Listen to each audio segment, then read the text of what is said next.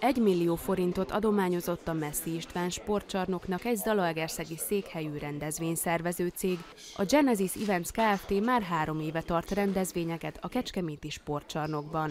Jó kapcsolat alakult ki a két cég között, ezért döntött úgy Főr Gábor, a Zalaegerszegiek ügyvezetője, hogy anyagilag támogatja a Híros Sport Nonprofit Kft-t azért, hogy a jövőben is színvonalas kulturális események helyszíne lehessen a sportcsarnok.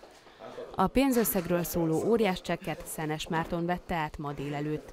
A Híros Sport Nonprofit Kft. ügyvezetője kiemelte, bár a sportesemények mindenkor előnyt élveznek a csarnok bármely más funkciójával szemben, örömmel adnak teret a szélesebb kecskeméti közönség kultúrált szórakozásának is.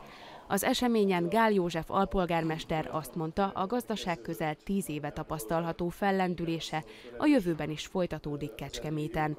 Ennek megfelelően éves szinten ezrekkel nő az itt élők, dolgozók és tanulók száma.